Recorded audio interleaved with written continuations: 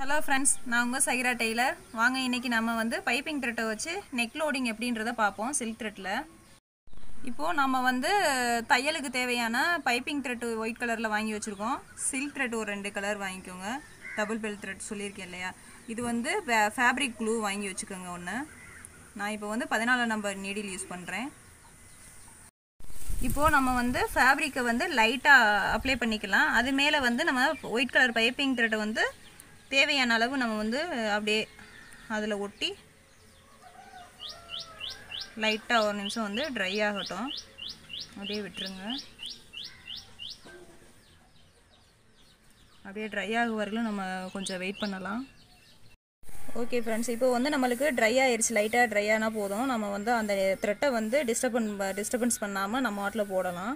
இப்போ பாருங்கள் இது வந்து லாங் அண்ட் ஷார்ட்டில் தான் வரும். ஃபஸ்ட்டு த்ரெட்டை எடுத்துக்கோங்க. எடுத்துட்டு த்ரெட்டில் இருந்து பண்ணாமல் நம்மளுக்கு ஸ்டார்டிங்கில் இருந்து பண்ணுங்கள் பக்கத்துலேயே ஒரு ஷார்ட் கண்டிப்பாக போட்டே ஆகணும். இப்போ வந்து நம்ம ஸ்ட்ரைட்டாக லாங் அண்ட் ஷார்ட் போடாமல் இதவே வந்து கிராஸாக போட்டுட்டு வரோம். அவ்வளோதான் இந்த மாதிரியே. பக்கத்துலேயே. ரொம்ப நம்ம வந்து இழுத்தும் பிடிக்கக்கூடாது. லைட்டாக லூஸாக விட்டுறணும். கீழ் நூலை வந்து லூஸாக விட்டுறணும். அப்போ தான் நம்மளுக்கு வந்து எம்போஸ்டு அந்த பைப்பு இந்த பைப்பிங் த்ரெட்டுக்கும் அதுக்கும் நம்மளுக்கு வந்து ஒரு எம்போஸ்டாக ஒரு நல்லா சூப்பராக நல்லா தெரியும். டைட்டாக அது பண்ணால் வந்து ஃப்ளாட்டாக நல்லா இருக்காது லுக்காக தெரியாது. இந்த மாதிரியவே பக்கத்துலேயே மாதிரி லாங் அண்ட் ஷார்ட் பாருங்கள் அந்த த்ரெட்டுக்கு கீழேயே தான் நான் வந்து ஷார்ட் தையல் குத்துறேன். இந்த மாதிரியே.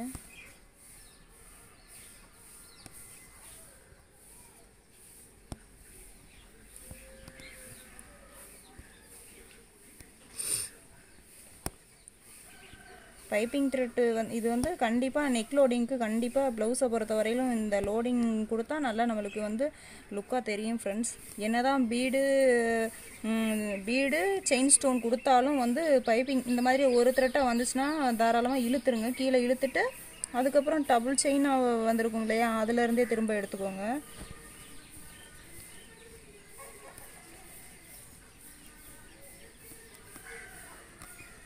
கொஞ்சம் சிக்கு இருந்தால் அந்த மாதிரி கீழே இழுத்துருங்க. இழுத்துட்டு திரும்ப மறுபடியும் வாங்க.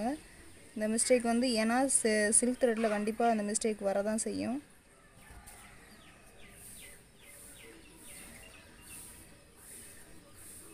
இந்த மாதிரியா? ரொம்ப டைட்டாக இழுத்துறாதீங்க. நல்லா வளைவாக தெரியாது நம்மளுக்கு.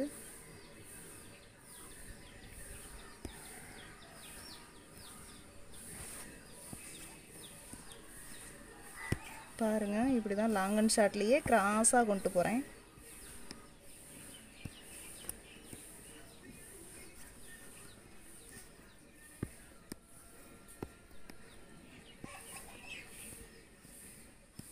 வீடியோவை ஸ்கிப் பண்ணாமல் பாருங்கள் அப்போ தான் உங்களுக்கு வந்து ஏதாவது ஒரு டிப்ஸை நீங்கள் உங்களால் புரிஞ்சுக்கிற முடியும். நீங்கள் வந்து ஓட்டி விட்டு பார்த்தீங்கன்னா வந்து உங்களுக்கு வந்து டவுட்டு இருந்துக்கிட்டே தான் இருக்கும். ஒரே ஒரு திருப்பு. அது வந்து கொஞ்சம் இதில் சில்க் த்ரெட்லேயும் நான் வந்து திரும்ப செயின் இந்த இது முடித்தது நான் போட்டு காமிக்கிறேன் உங்களுக்கு. எல்லோரும் கேட்டிருந்தீங்க கமெண்ட் பாக்ஸில் வந்து கேட்டிருந்தீங்க செயினை வந்து திரும்ப எனக்கு போட்டு காமிங்க அப்படின்னு கேட்டிருந்தீங்க நாட்டும் கேட்டிருந்தீங்க. சொல்லித்தரேன் ஃப்ரெண்ட்ஸ் என்னோடய வீடியோவில் நாட்டும் எப்படி போடுறதுன்றத எல்லா வீடியோவிலும் தெளிவாக போட்டிருப்பேன்.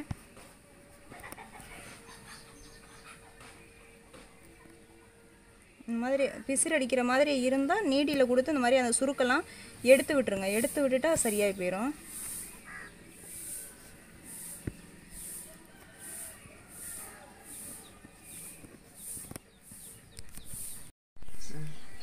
இந்த மாதிரியவே போட்டுக்கிட்டே வாங்க. ட்ரை பண்ணுங்கள் என்னோடய வீடியோ எல்லாத்துக்கும் பிடிச்சிருக்குதுன்னு எல்லோரும் கமெண்ட் பாக்ஸில் சொன்னீங்க. ரொம்ப நன்றி. என்னோடய வீடியோவை பா பார்க்குற அனைவருக்கும். மிகப்பெரிய நன்றி சொல்லிக்கிறேன். கொஞ்சம் வீடியோ போடுறதுக்கு தான் எனக்கு கொஞ்சம் டைம் இல்லாமல் இருக்குது கொஞ்சம் லேட் லேட்டாக போடுறேன். அதுக்காக உங்கள்கிட்ட சாரி கேட்டுக்கிறேன். இந்த மாதிரி பாருங்க. இப்போது சிங்கிளாக வந்து நம்ம ஒரே த்ரெட்லேயும் லோடிங் கொடுக்கலாம்.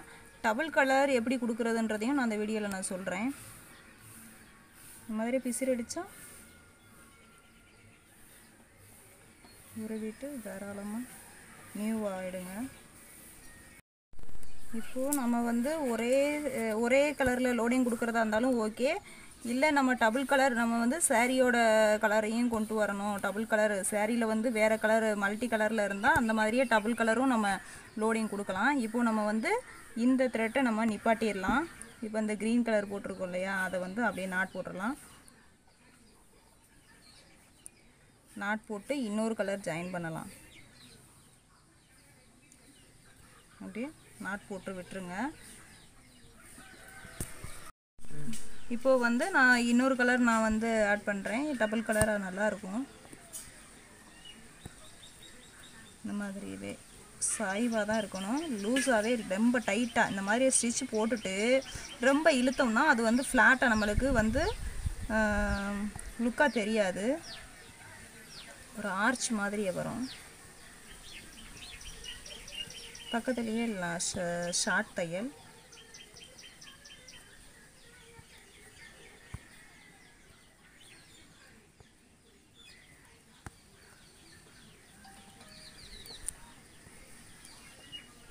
போட்டுகிட்டே வந்தீங்கன்னா உங்களுக்கு வந்து ஈஸி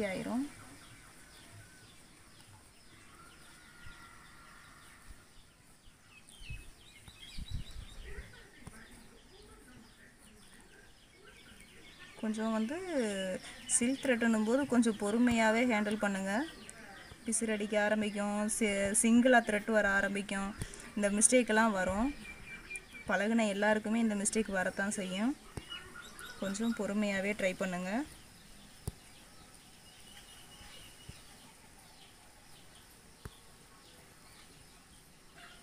இதே மாதிரி தான். சில்க் த்ரெட் வந்து எல்லாருமே வந்து கமெண்ட்டில் கேட்டிருந்தீங்க.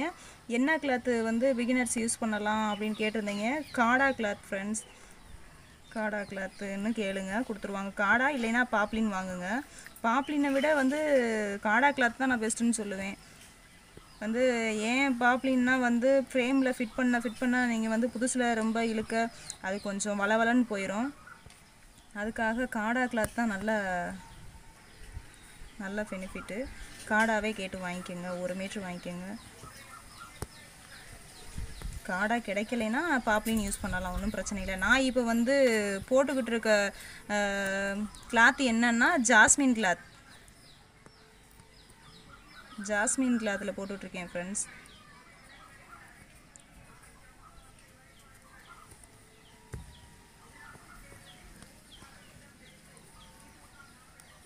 நிறைய டபுள் கலர்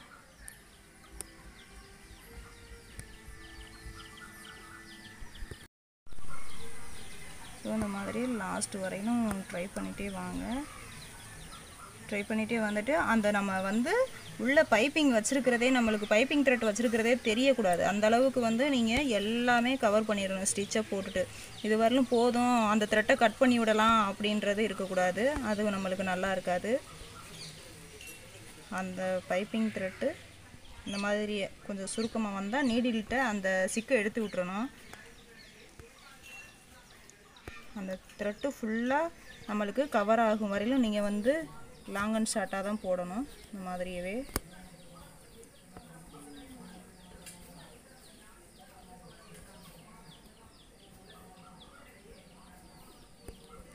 உள்ள த்ரெட்டு தான் வச்சுருக்கோன்றது வெளிப்பார்வைக்கு தெரியாத அளவில் நம்ம வந்து போ போட்டு ஸ்டிச் போட்டு முடிக்கணும்.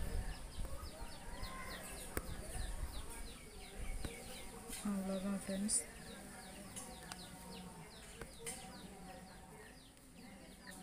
இப்போது இதுக்கும் நாட் போட்டுடலாம். பக்கத்தில் ஒரு குட்டி ஸ்டிச் போட்டு மொ முதல்ல கொடுத்துருக்குற செயினுக்குள்ளார நேடியில் கொடுத்துருக்கேன். இந்த மாதிரியே.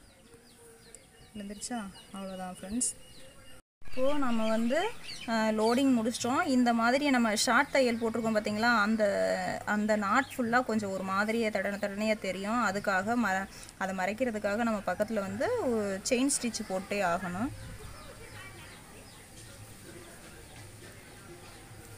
செயின் ஸ்டிச்சை நான் வந்து ரெண்டு தட்டையும் சேர்த்து ஒரே இதாக நாட் போட்டு செயின் போட்டு வரேன்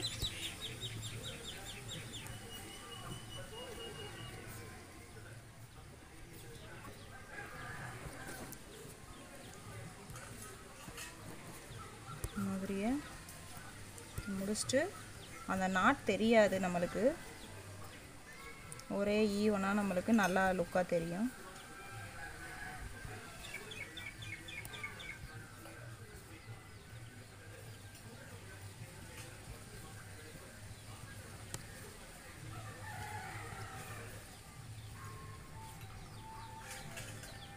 இப்போது நம்ம வந்து நான் என்ன சொல்லியிருக்கேன் நம்ம வந்து ஸ்ட்ரைட்டாக போகும்போது ஒன்றும் பிரச்சனை இல்லை. நம்மளுக்கு வந்து வளைவுனா ஒரு தையல் சேஃப் வர்றதுக்காக நம்ம டேனிங் ஸ்டிச் போட்டு வரணும்.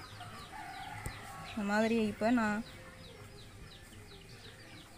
இப்போது இந்த சைடு நான் வர வரப்போகிறேன் அதுக்காக நான் வந்து இந்த பக்கத்துலேயே ஒரு டேர்னிங் ஸ்டிச் பக்கத்தில். அப்போ தான் நம்மளுக்கு வந்து சேஃப் நல்லா கிடைக்கும். இப்போது நான் வந்து இந்த சைடு வர போகிறேன்னா நம்ம மே அந்த சைடு அந்த டைரெக்ஷனில் ஒரு ஷார்ட் தையல் போட்டே ஆகணும்.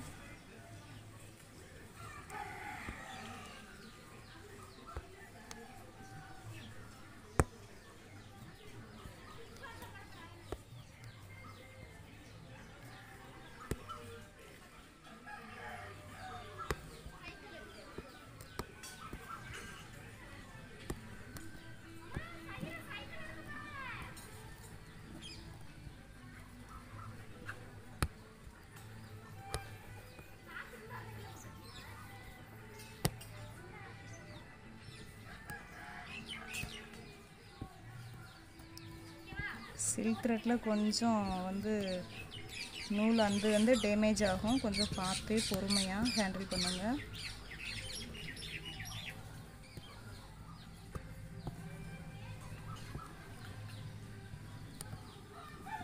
ஃப்ரெண்ட்ஸ் இப்போ வந்து டேனிங் ஸ்டிச் இப்போ மேல் புறமாக போகிறோம்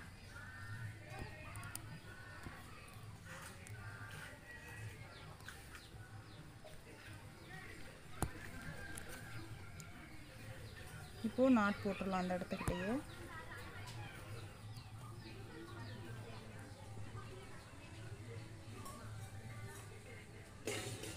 அவ்வளோதான் ஃப்ரெண்ட்ஸ்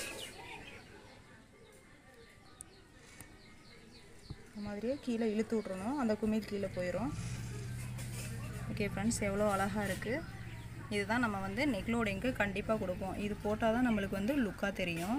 இப்போ நம்ம வந்து இந்த பிங்க் கலரை வந்து ஒன்றரை ஒன்றரை இன்ச்சில் இந்த மாதிரி ஈவனாக கொடுத்துருக்கோம். இதவே வந்து இது ஒரே க்ரீனாக கொடுத்துட்டும் இதை வந்து அந்தந்த இடத்துல போடலாம். அதையும் நான் பின்னால் ஒரு வீடியோவில் போடுறேன். இப்போது வந்து செயின் ஸ்டிச் வந்து செயின் போட்டு காமிங்க நாட் போட்டு காமிங்கன்னு கேட்டிருந்தீங்க. அதுக்காக இப்போ பாருங்கள் உங்களுக்கு. சிம்பிளாக லைட்டாக போட்டு காமிக்கிறேன். ஃபஸ்ட்டு த்ரெட்டை எடுத்துருங்க. எடுத்துகிட்டு இப்படி இந்த மாதிரியே கீழே நூலை சுற்றணும் எடுக்கும்போது இப்படியே ஸ்ட்ரைட்டாகவே எடுத்துக்கிட்டு இருந்தீங்கன்னா உங்களுக்கு வந்து நீடிலும் நீடிலோடைய நிப்பிலும் டேமேஜ் ஆகும். உங்களுக்கு கிளாத்தும் டேமேஜ் ஆகும். த்ரெட்டும் பிசிறடிக்கும் இதுக்காக இப்படி எடுக்கும்போது ஒரே ஒரு திருப்பு மட்டும். திரும்ப உங்கள் பக்கமே திருப்பிக்கிறணும். இப்படி கீழே நூலை சுற்றிட்டு இப்படி எடுக்கும்போது என் பக்கம். திரும்ப உங்கள் பக்கமே அந்த துடிப்பை வச்சுக்கிறணும். எடுக்கும்போது என் பக்கம் திரும்ப உங்கள் பக்கம். இந்த மாதிரி இது. குத்துறோம். கீழே நூலை சுற்றுறோம் எடுக்கும்போது என் பக்கம். திரும்ப உங்கள் பக்கமே துளிப்பை.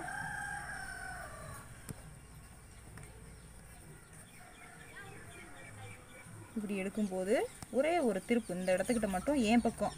திரும்ப அந்த ஹூக்கை அப்படியே உங்கள் சைடு எடுத்துக்கிறணும்.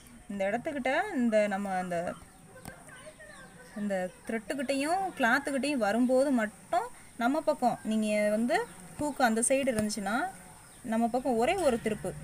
திரும்ப அந்த சைடே நம்ம வந்து பாயிண்ட்டை கொண்டு போயிடணும் எடுக்கும்போது என் பக்கம். அதான் ஈஸியாக வந்துருச்சா? அங்கனக்குள்ள இப்படி எடுக்கும்போது இந்த சைடு ஒரே ஒரு திருப்பு தான். ஏன்னா இந்த இடத்துக்கிட்ட வந்து ஹூக்கை இதே மாதிரி கொண்டுக்கிட்டே வந்தோம்னா அந்த அந்த கொ- கீழே வந்து த்ரெட்டு கோர்த்துக்கிட்டு நம்மளுக்கு விடாது. அப்போ அந்த இது- அந்த லூப்புக்கிட்ட எடுக்க விடாது. அதனால் மழுக்குன்னு இருக்க சைடு ஒரே ஒரு திருப்பு திருப்பினோம்னா அந்த கிளாத்தை அழகாக விட்டு கொடுத்துரும் நம்மளுக்கு. அதுக்காக தான் நம்ம வந்து ஒரே ஒரு திருப்பு நீங்கள் போட்டிங்கன்னா தான் வரும். இல்லைன்னா வந்து த்ரெட்டை நீங்கள் நீடியில் திருப்பாமையே வச்சுக்கிட்டு எனக்கு வரல வரலைங்கன்னா ஒன்றும் பண்ண முடியாது. இந்த இடத்துக்கிட்ட ஒரே ஒரு திருப்பு மட்டும். தான் ஈஸியாக விட்டுருச்சு அதுவாக நம்ம எடுக்கவே தேவையில்லை நீடியில். அதுவாகவே விட்டுரும். இந்த மாதிரியே. ஒரே ஒரு திருப்பு. ஈஸியாக வந்துடும் இப்போ நான் உங்களை மாதிரியவே புதுசில் இந்த மாதிரியே திருப்பாமல் இப்படியே வச்சுக்கிட்டு இருந்தோம்னா சண்டை போட்டுட்ருக்கோம் ஒரே ஒரு திருப்பு. அவ்வளோதான் ஈஸியாக வந்துடுச்சு இப்போது நம்ம வந்து நாட் போட்டுடலாம். நாட் போடுறதுக்கு ஃபஸ்ட்டு இந்த மாதிரியே ஒரு செயின் லூஸாகவே போட்டுருங்க. வேணாம். கொஞ்சம் பெரிய பெரிய செயினாகவே போட்டு உங்களுக்கு காமிக்கிறேன். இந்த மாதிரியே.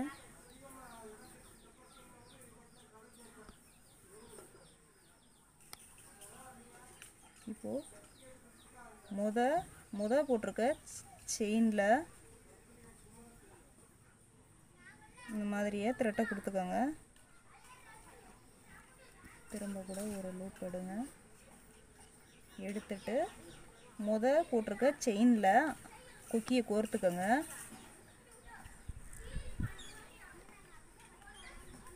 உருவிடுங்க உருவிட்டு செல் த்ரெட்டுனால கொஞ்சம் இதாக இருக்கும் உருவிடலாம்